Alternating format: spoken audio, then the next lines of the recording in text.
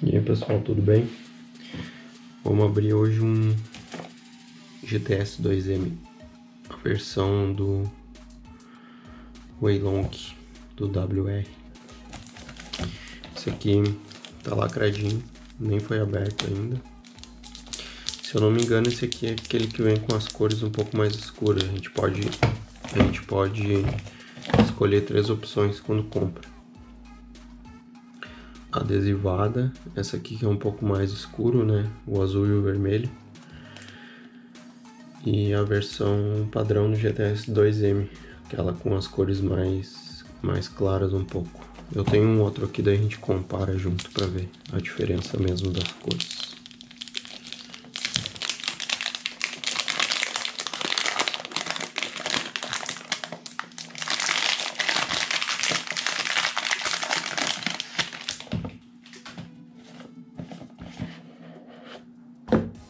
Caixinha padrão, né?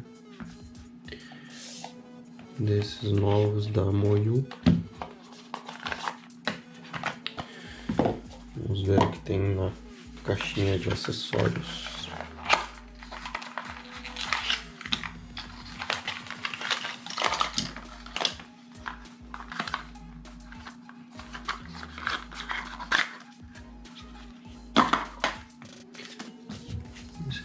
Bastante coisa. Vem dois cards. Vem esse panfleto aqui comemorativo do, do recorde. E o Shendu. Tem o Scramble do recorde. Ver se dá pra ver. Tem o Scramble, tem a resolução ali também. Tem o manualzinho dos ajustes na caixinha. Aquelas ferramentas que todo mundo agora já deve saber para que serve. Para coçar a orelha, né? Lógico. Enfia na orelha esse pedaço aqui, ó. Quando tiver com coceira. Mandar um abraço pro meu amigo Mário aí que eu esqueci de mandar antes. Mário Dias fera no Pyramix. Um abraço aí, Mário. A chavinha aquela de sempre.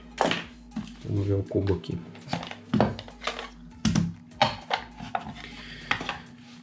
Hum...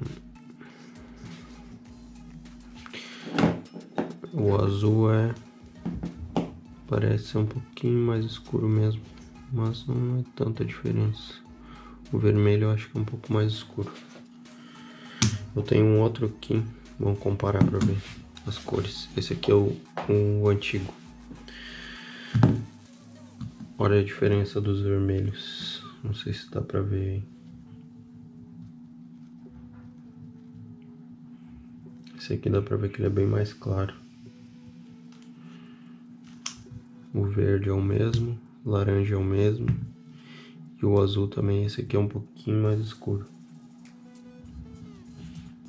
botar os dois bem na luz aqui pra ver. Dá pra ver melhor, ó. Esse aqui é mais escuro. Mas eu vou dizer que, ele, que esses, essas cores mais escuras também não influenciam muito. Eu acho que é bem, bem padrão. Ele não é tão escuro também, o vermelho também não é tão escuro, não, não atrapalha tanto. Nossa, ele tá bem seco.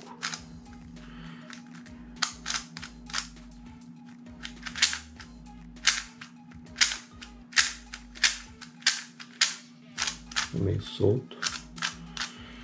O imã ele dá a impressão de ser bem fraco.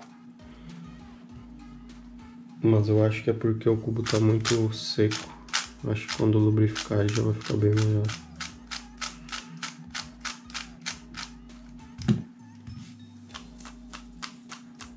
Esse aqui já tá lubrificado, ele segura bem direitinho. Esse aqui ainda tá meio estranho.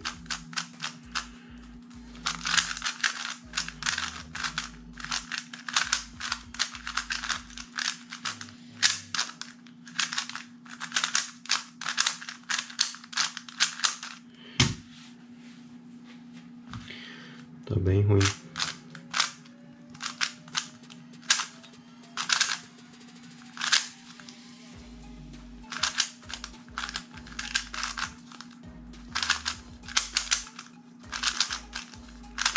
Tá muito solto.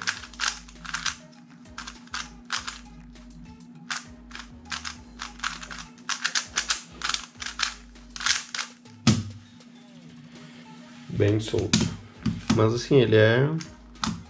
Não muda nada, é um GTS 2M igual o antigo.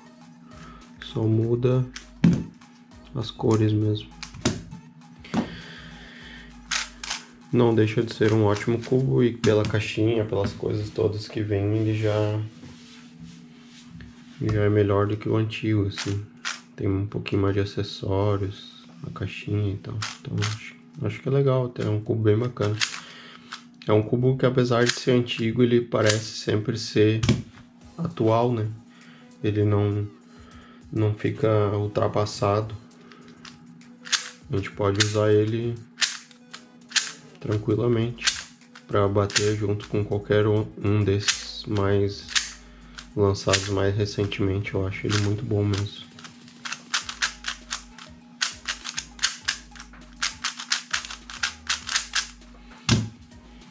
Eu recomendo sem dúvida nenhuma, se alguém puder comprar esse cubo aqui é muito, muito top.